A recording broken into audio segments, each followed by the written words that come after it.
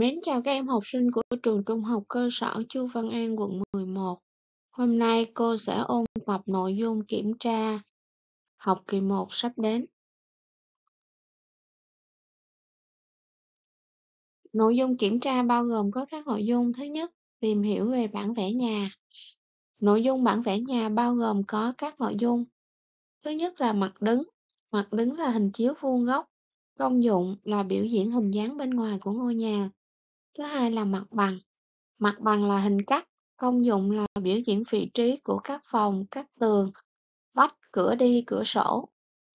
Ba là mặt cắt. Mặt cắt là hình cắt, công dụng là biểu diễn kích thước theo chiều cao. Nội dung thứ hai trong bản vẽ nhà, các em cần nhớ là về ký hiệu quy ước một số bộ phận của ngôi nhà. Ờ, thì ở đây có ký hiệu có cửa đi đơn một cánh trên mặt đứng bên dưới đây là cửa đi đơn trên mặt bằng. Cửa đi bốn cánh trên mặt bằng. Cửa sổ đơn hai cánh trên mặt đứng. Còn cái hình bên dưới ha, hình bên dưới là ký hiệu trên mặt bằng. Tiếp theo là ký hiệu sân. Bài thứ hai, nội dung ôn tập. Bài thứ hai bao gồm đó là bài vật liệu cơ khí. Ở bài này các em nhớ các nội dung. Thứ nhất, trình bày về thành phần, tính chất, ứng dụng của kim loại đen. Kim loại đen có thành phần chủ yếu là sắt và carbon. Dựa vào tỷ lệ carbon chia làm hai loại thép và gan. Thép có tỷ lệ carbon bé hơn hoặc bằng 2,14%. Gan có tỷ lệ carbon là lớn hơn 2,14%. Nói về tính chất, kim loại đen có tính chất là có độ cứng, chắc, có từ tính và dễ bị rỉ sét. Ứng dụng Kim loại đen được sử dụng trong xây dựng, chế tạo chi tiết máy và các dụng cụ gia đình.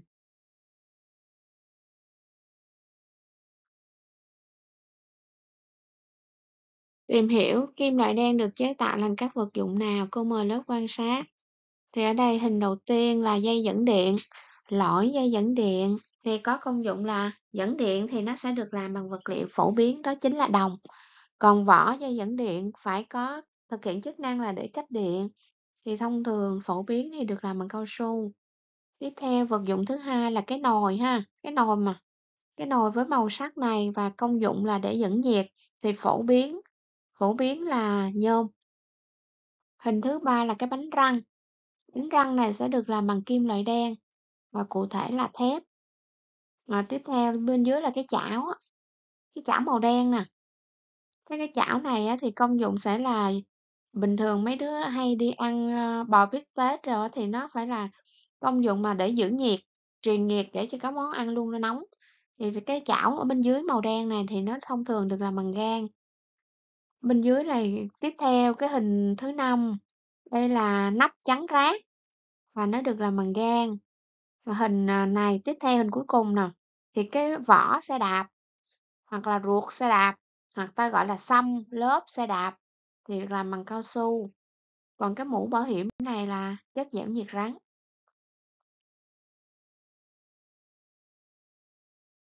Bài 3.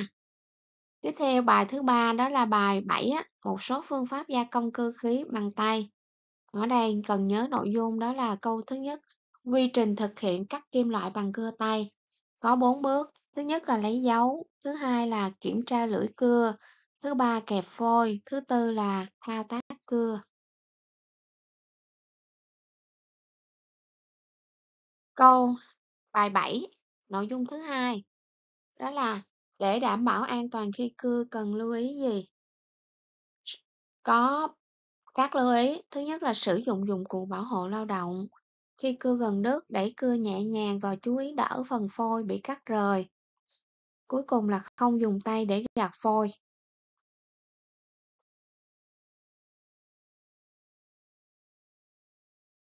Đây vẫn là còn nằm trong bài 7 ha, câu 3 của bài 7. Đây là gọi tên các dụng cụ có trong hình. Thứ nhất, màu xanh này là cưa. Hình 7.7 nè, hình A là búa, búa đầu vuông, hình B là búa đầu tròn, hình C là cây đục. Hình D cũng là đục. Nội dung tiếp theo đó là bài bài truyền và biến đổi chuyển động. Thứ nhất, tìm hiểu về truyền chuyển động. Truyền động là truyền và biến đổi tốc độ từ bộ phận này đến bộ phận khác của máy.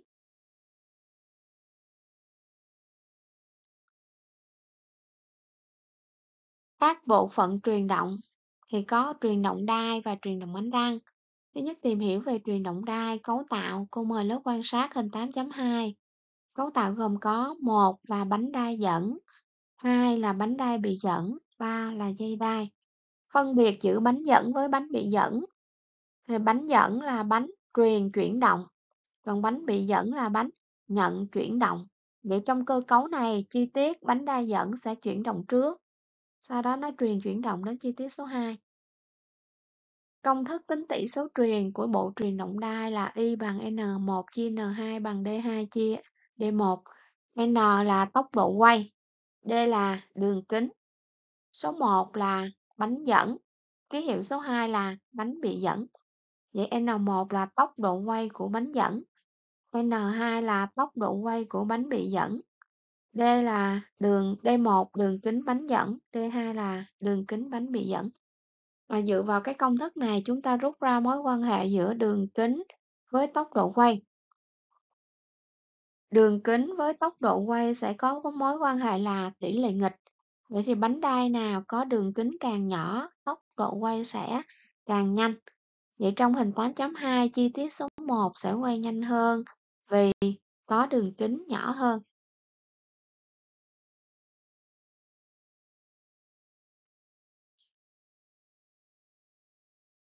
Bộ truyền động bánh răng cấu tạo gồm có một là bánh răng dẫn, hai là bánh răng bị dẫn.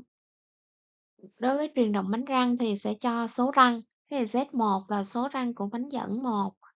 Z2 là số răng của bánh dẫn bị Z2 là số răng của bánh bị dẫn 2. Tỷ số truyền Y bằng N1 chia N2, bằng Z2 chia Z1. Vẫn y như vậy, tỷ số truyền và tốc độ quay và số răng có mối quan hệ tỷ lệ nghịch. Vậy trong hình này bánh răng có có số răng ít hơn thì sẽ quay nhanh hơn.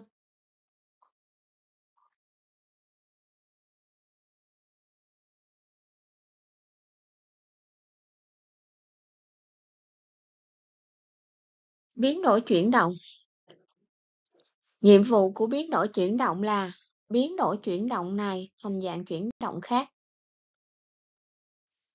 Gồm có các cơ cấu, cơ cấu biến chuyển động quay thành chuyển động tịnh tiến hoặc ngược lại, cơ cấu biến chuyển động quay thành chuyển động lắc hoặc ngược lại. Vậy có tổng cộng bao nhiêu cơ cấu biến đổi chuyển động? Đó là 4.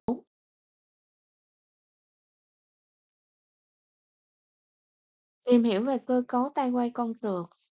Cấu tạo gồm có số 1 là tay quay, số 2 là thanh truyền, số 3 là con trượt và 4 là giá đỡ.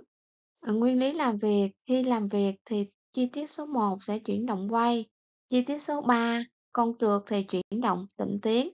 Vậy thì nguyên lý làm việc là khi tay quay quay quanh trục A thông qua thanh truyền B thì làm cho con trượt chuyển động tịnh tiến trên giá đỡ.